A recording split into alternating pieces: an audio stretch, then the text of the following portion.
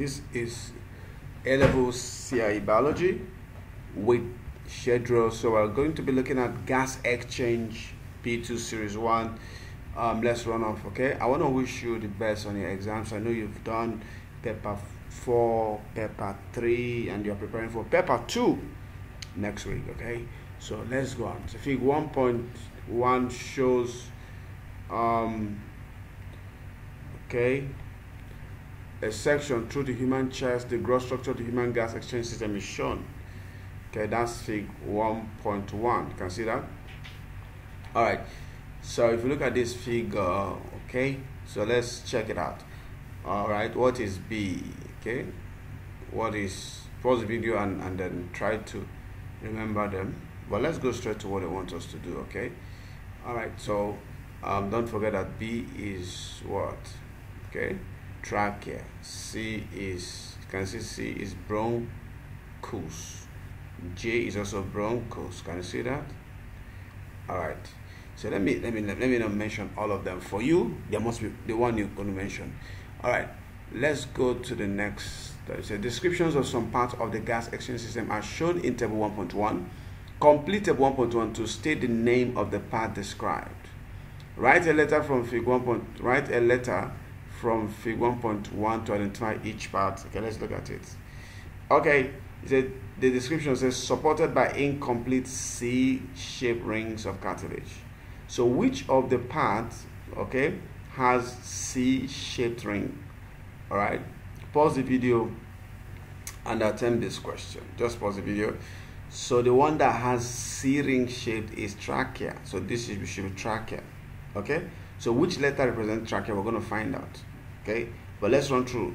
Lined by ciliated epithelium and supported by blocks of cartilage, guys. Which one is that? What does that speak to? Which one is lined by ciliated epithelium? Okay. Look, both of them have cartilage. This has cartilage, and there are only two um, structures in the gas exchange system that has cartilage. The cartilage, the trachea and bronchus, right? The cartilage for bronch for trachea is C-shaped, okay? Complete of incomplete. It consists of incomplete C-shaped rings or regular rings. While that of bronchus is block shaped, okay? Irregular block, okay? Blocks of cartilage. So this is bronchus lined by squamous epithelium. So which one is this? Hmm? Squamous means thin or flattened. So the one that has squamous is the gas exchange surface, which is alveolus, right? Lined by ciliated epithelium but not supported by cartilage. This should be what? Okay, this should be bronchial, right? So let's go back and find out. So this is trachea. Which letter is trachea? Which letter is bronchus? Which letter is alveolus? And which letter is bronchial, right? So let's go back. Okay, which of them is trachea? Of course, you said it's B. B is trachea. So show me bronchus or bronchi. Bronchus is singular, bronchi plural. So this is a bronchus C. This is another bronchus. That's J. So both C and J are bronchi. Okay. B is trachea. You can see it. Trachea is the biggest part. It splits into two smaller tubes. Bronchi. So which one is bronchial? Bronchial, okay, is formed from bronchus. So if you trace, okay, bronchus split into smaller parts called bronchial. This is bronchial. This is bronchial. And then alveolus is M. Okay, M is alveolus. That's the air sacs. That's the gas exchange surface in av in in mammals. Okay, all right. So let's go back to where we came from. Right. Okay. Look at that table. So you understand what is there? Okay. So we have said that this is B, C, J, the other one's H, then this one is M, right? No, no, this is M. Okay, this is H. Okay? Alright, so look at the table. Guys, trachea. Okay, B. bronchus c or j or c and j. Okay m is alveolus okay alveoli is plural bronchioles okay h. All right. So let's go to next question guys. Fig 3.1 is a photomicrograph of a section through lung tissue guys. This is very cute. Trust me. very very cute guys. It says this is little epithelium all right? This is j. Magnification. So so you can see the question is which part of the lung tissue is this? I want you to help me. Which part of the lung tissue is this? I think that this is bronchus okay? How do i know that this is bronchus because can, see, can you see the cartilage? The cartilage is not c-shaped just blocks. This cartilage under cartilage is at the base under cartilage okay? But if it were trachea the cartilage is c-shaped okay? But this has blocks of irregular all right cartilage. Now of course this is the epithelium right? To have loose tissues okay? You see this is where we find mucous membrane you can see that and blood vessels. You get it? All right let's see they said state the feature visible in fig 3.1 that identifies the structure in the center of the cartilage as the bronchus and list other visible features that helps confirm this certification. Feature that identifies um, identify the bronchus other features. The one that identifies bronchus which one do you think identifies bronchus? Of course is what? It is what? Guys what is it that are identifies bronchus okay? Irregular blocks of cartilage. Irregular blocks of cartilage. Okay? All right this irregular blocks of cartilage that's cartilage guys. And then other features of course it has ciliated epithelium they've mentioned it. Goblet cells right? Mucous gland this is mucous gland. Smooth muscles okay? Um, what else? Elastic fibers. They're all here right? See it so irregular if you don't mention irregular say plates irregular or plates of cartilage. Accept cartilage not c-shaped.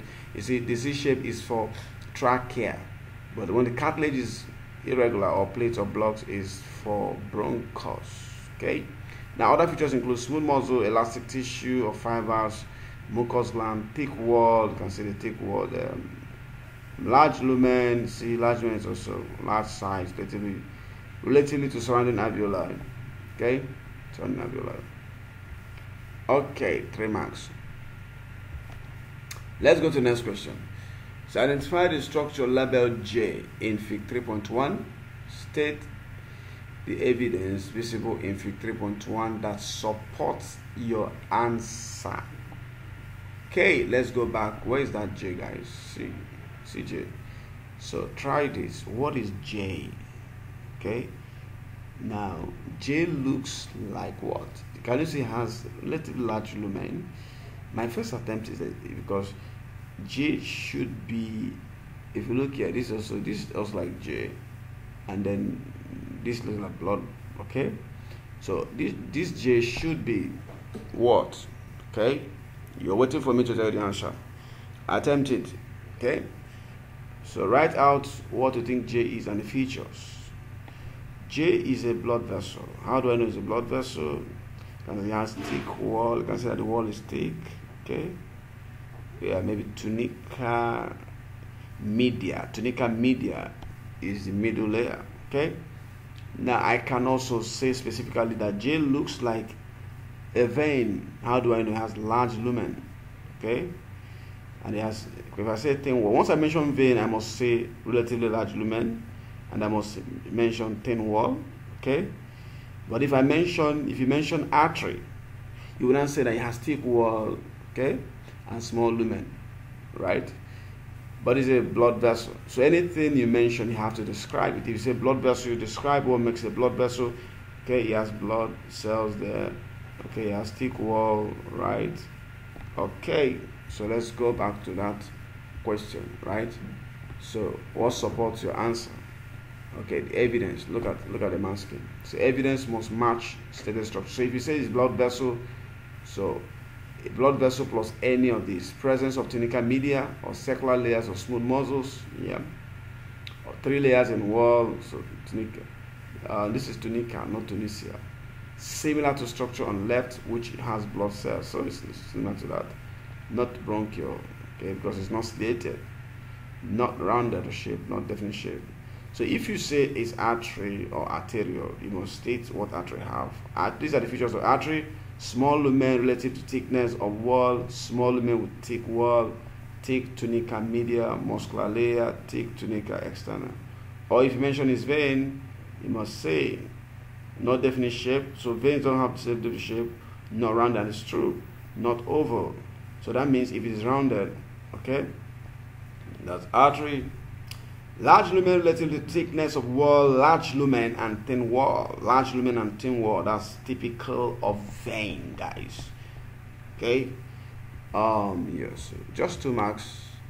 The ciliated epithelium labeled in Fig 3.1 consists of goblet cells and ciliated epithelial cells. Outline how goblet cells and cilia work to maintain healthy lung tissue, guys. How do they, goblet cells and cilia, they are teammates, how do they keep our lung tissue healthy? Pause this video and try the answer. So I feel that, of course, if you mention goblet cells, bless cells secrete mucus. Remember, secrete mucus. The mucus trap pathogens. Okay, mucus also act as a physical barrier between the pathogens and the lining of the airways okay acts as a chemical barrier sometimes it contains lysozyme that digests bacterial cell wall okay now because mucus um, is secreted by goblet cell goblet cells secrete mucus cilia sweeps away carpet of mucus right from the back of the from the alveolar of course towards the back of the throat okay so look at it. So goblet cells produce or secrete mucus the mucus trap pathogens yeah accept dust particles. Don't cilia waft or moves or carries push mucus to the back of throat. Just two marks.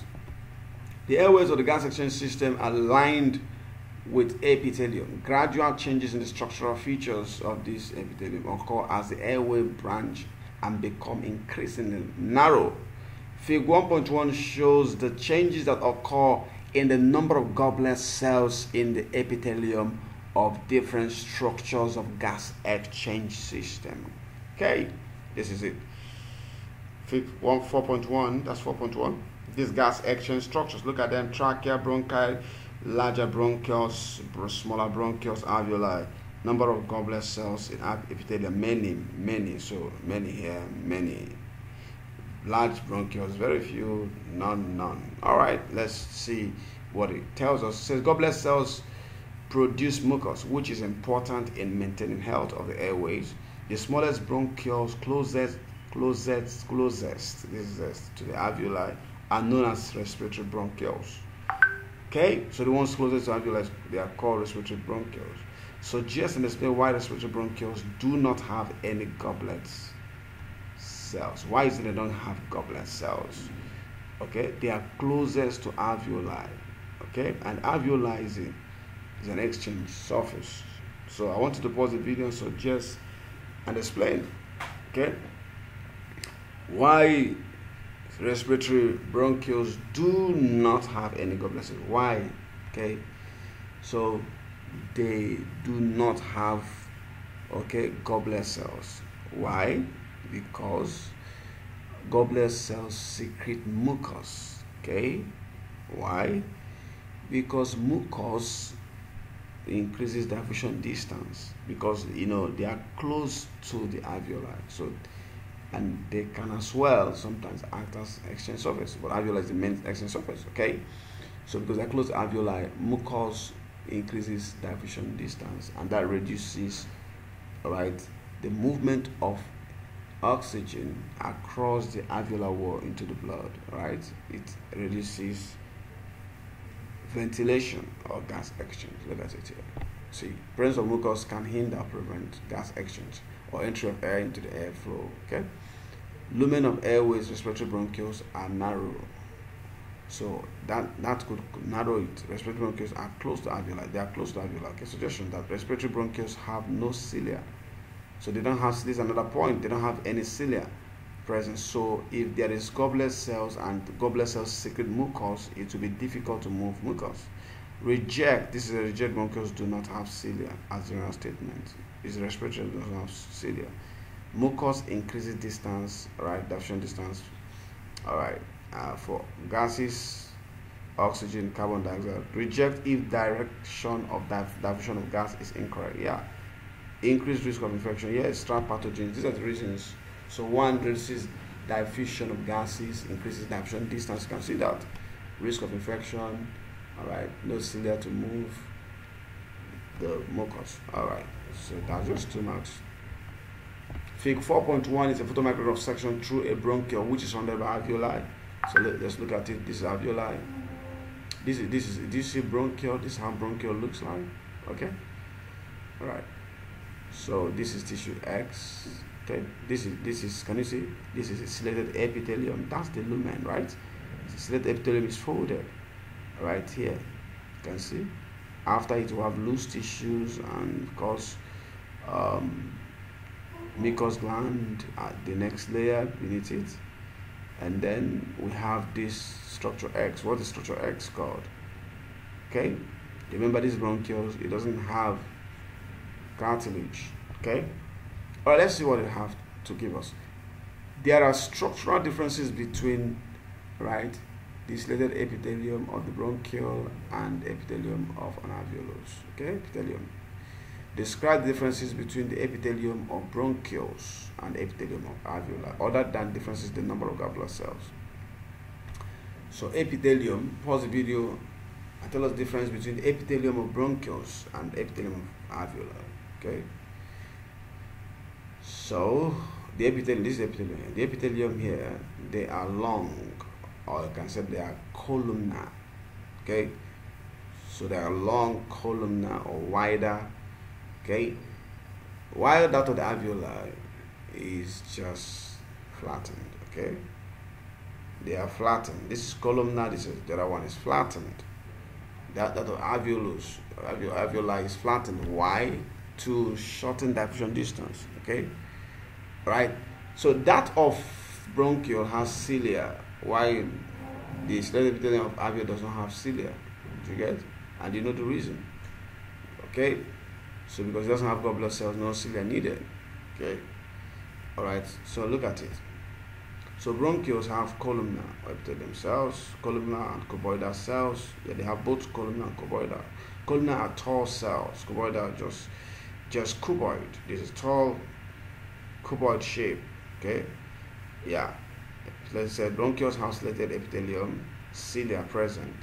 Bronchioles larger, longer. These are the cells reject the fumus mixed okay all right yeah so that is it guys three marks let's roll tissue x shown in 4.1 is located in the wall of the bronchiole okay same tissue x and outline the function okay of tissue x in the bronchiole name tissue x and outline the function okay let's go back what is this tissue x what is it this is if you say it looks like smooth muscle so if you say it's smooth muscle, what is the function of smooth muscle? Okay? Yeah. So pause the video and try it. Smooth muscle helps to, you know what it does? When it contracts and relaxes, it helps to regulate the diameter of the gas, um, the airways, regulate it, and then it controls or regulates the flow of air to the alveoli and from the alveoli.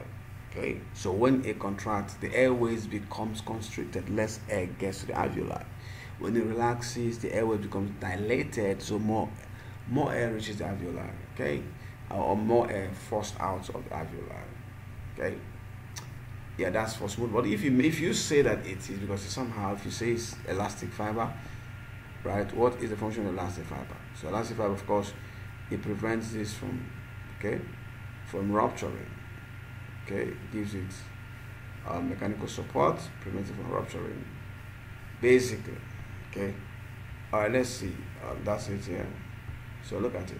Smooth muscle plus any two. Stretch and recoil, that's vasoconstriction, vasodilation. The muscles contract, they contract, and relaxation of bronchial. So that's what they help. Change or decreases diameter of bronchial or lumen of airway. It's a reject contraction of bronchial or lungs or other ways. Okay. Um, says a adjust, accept adjust size of airway. So regulate the constriction of bronchial airway. Control of airflow to and from the alveoli. That's the function. Control so it controls the volume of air entering or leaving alveoli. Stretch, expand during inhalation.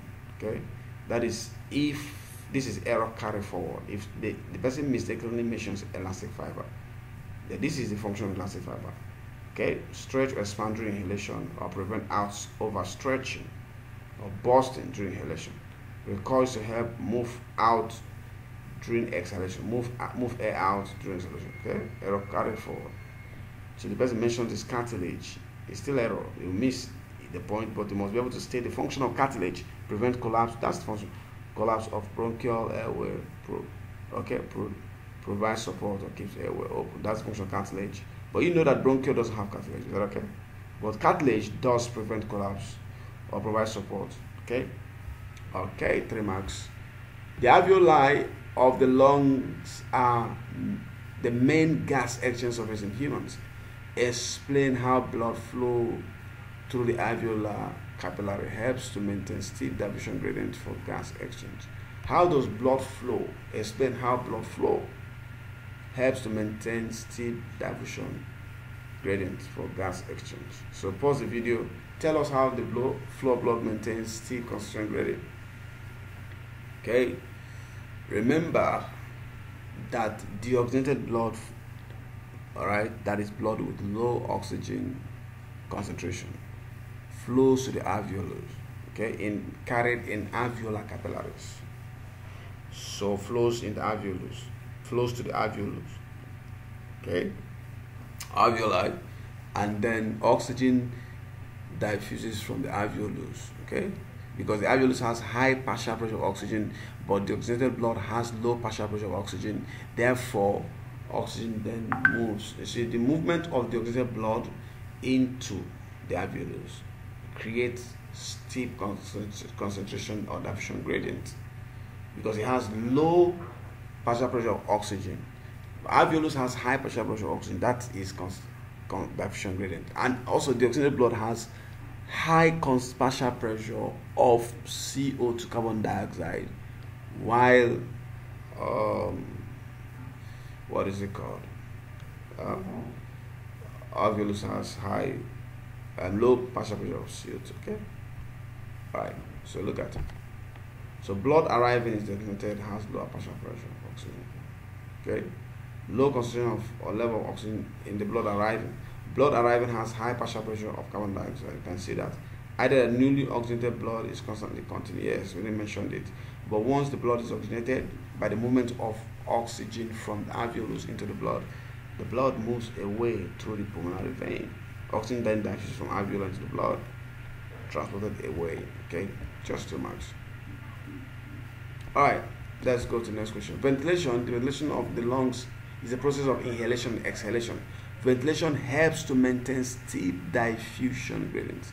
Explain the role of elastic fibers in the alveolar wall during ventilation. What is the role of elastic fiber in the alveolar wall? Okay, pause the video and try it. Okay, um, yes, elastic fibers. Remember that they are fibers, so you use the word expand or stretch, okay, or recoil. You don't use contraction or relaxation for fibers. Okay, so during inhalation, elastic fiber allows the alveoli to stretch or expand. And that increases surface area for oxygen uptake right? During exhalation it allows the alveoli right to all right to recoil of course it recoils forcing out to use air. See it allow alveoli to expand stretch on inhalation breathing in prevent alveoli from overstretching yeah, and also yeah, overstretching sometimes rupturing or bursting, preventing from overstretching or bursting.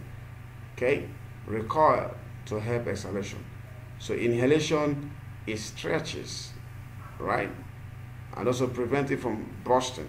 But exhalation, when it recoil recoil, helps to force out used air, right? Fig 5.1 is a photomicrograph of trans, of a transverse section of a bronchus in the lungs. Can you see? Yep, that is. This is smooth muscle. This is T. Okay, this is a. Can you see bronchus? Hmm? You see, what is this? You see, this, this, this. Okay, this is ciliated epithelium. Okay, you can see smooth muscles. This is lumen, ciliated epithelium, smooth muscles. Okay, loose tissues. These are loose tissues where you find blood vessels. You can see these loose blood vessels. Okay, mucous glands. Okay, you can find this is smooth muscle here. Can you see smooth muscles, please? Smooth muscles, right? Ciliated epithelium. What is this? This is something as T. Can you see? Hmm? What is this? This is found at the base. What is that T? Identify the tissue level T. Pause the video. T is what? Plates, irregular blocks supporting. So that's cartilage, guys. Okay. Yep, cartilage. All right. Says 5.1 is a photomicrograph of a transverse section of a bronchus in the lungs. Let's look at it. Okay, the same thing. Yeah. Describe the function of smooth muscle in the bronchus. So what's the function of smooth muscle? Pause the video and try it. Describe it. Describe. Okay. So smooth muscles usually contract. When they contract, okay, they cause the airways to become constricted. Okay. But when allowing more air to move into the alveoli, no, less air becomes constricted. So less volume of air moves out or towards the alveoli. But when it relaxes, the lumen or diameter of the airway becomes dilated. So more volume of air flows either in or out. Okay.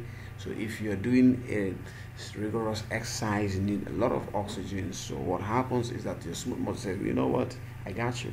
So it just relaxes and then the lumen becomes dilated. More oxygen reaches your alveoli and you, you, you know diffusion to the blood supplies to the tissues and aerobic respiration occurring you have more energy to do that swimming or boxing or dancing whatever you call it okay so so um, that is it let's look at what the oracle says the mass game says any two from smooth muscle contract yeah and relax it that's what the, the contractor change diameter of the air so the change diameter of the airway or the size of lumen may help to regulate airflow into or away from the gas exchange surfaces.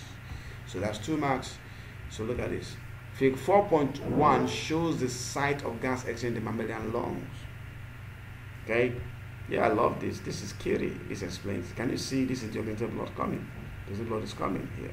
And they, as they move, they become oxygenated. This is alveolus. Now this is capillary, okay? Alright. Yeah, I love this picture. Table 4.1 shows the partial pressure of oxygen um, yeah, and carbon dioxide at locations W, X, Y, and Fig 4.1. Look at it, guys. Partial pressure of oxygen at W, okay, is 13.87. All right, but CO2 is low, 5.3. Now X, this is X somewhere there, okay, uh, you can see that oxygen is low, partial pressure. So that's the oxygenated blood coming in. But this is, is the oxygenated CO2 is high. Okay? So at Y, can you see oxygen level has increased? This is a gas exchange. Okay? CO2 has decreased, gas exchange. All right? So, with reference to Fig 4.1 and Table 4.1, this is Fig 4.1, this is Table 4.1, guys. Describe how? Okay. The exchange that occurs as blood flows X to Y. Pause the video. Remember how we do it? We pause video and we try solving, guys. This is how we do it in 13 Universal, guys. Right? So they say we should describe. So you see that uh, what happens there? Gas action. So in at point X, can you see?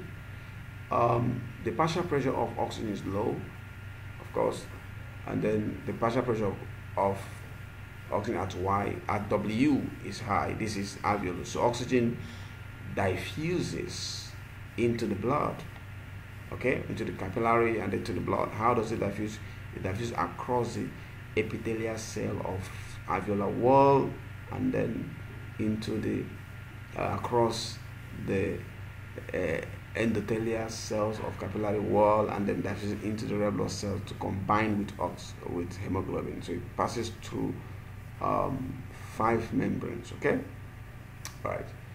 So you see what is happening here is that CO2 also diffuses from the blood, okay, or plasma or red blood cell into the alveolus, down concentration gradient across the T barriers, across, okay, um, these endothelial cells, capillary wall, and epithelial cells of an alveolar wall.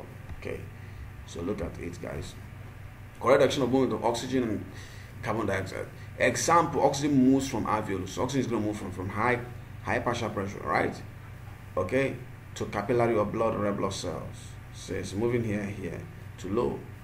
Carbon dioxide moves from capillary, right? Moves from here, right, into the okay diffuses into the respiratory okay diffusion um, okay diffusion of oxygen carbon dioxide respiratory gases movement down partial pressure concentration gradients from higher partial pressure to lower that's what's happening use data I can quote data right that was shown through alveolar walls squamous we have mentioned it binding to hemoglobin here alveolar wall okay endothelial cells Okay, four marks. Elastic fibers are present in tissues at the site of gas exchange in lungs. Describe the role of elastic fibers in the gas exchange system and in cardiovascular. So, two things there. So, what is the role of elastic fiber in gas exchange system and cardiovascular? Cardiovascular is blood vessels, heart cardiovascular, heart and blood vessel gas exchange system. Okay, pause the video and try it. So elastic fiber prevents overstretching or bursting in gas exchange system. Okay. Yes, prevents it from bursting. But it does the same thing in blood vessels. Okay. So what happens is that it stretches over okay over, and then prevent bursting. Right? Yeah. I'm going Okay, welcome back. Yeah, so cardiovascular, yeah, in cardiovascular, remember the blood vessel, so it stretches to prevent it from bursting, okay? And then recoils to maintain the pressure of blood, okay? So prevents from bursting, maintains the pressure. We can look at it, guys. See, alveolar wall stretches expand during inspiration, okay? Blood vessels stretch, expand as blood volume pressure increases. Okay, so stretch to prevent alveoli from bursting. Okay, so guys, sorry for the interruptions. Okay, so it's a prevent overstretching. So in the blood vessel, they prevent overstretching or bursting. So recoiling, recoil during expiration. So during this is gas exchange here. So in gas exchange, the recoil prevent or help to expel or force out there. Now, of course, in the alveolar wall, they help to expand during inspiration, remember, but during expiration, okay, they expel or force out there. Recoil to apply pressure. Now, this is talking about blood vessel. So maintaining blood, okay, pressure. All right so that's what it's trying to say is that these two, this is about stretching. So when it stretches in alveolar wall, it, that's during inspiration to allow uptake of oxygen. Of course, still stretching in arterial blood vessel, it expands. Okay, okay, to as blood volume increases. So why? To prevent bursting. Okay. Now, but for recoiling, this is this is in expiration. It recoils to force out air in gas exchange. Okay, but recoils in cardiovascular, right, to maintain blood pressure. Okay. All right. Thank you, guys. This is where we stopped it for now. So please follow us up. We're gonna do other videos, all right, for you before your exams. This is Shedro. See you later. Bye for now.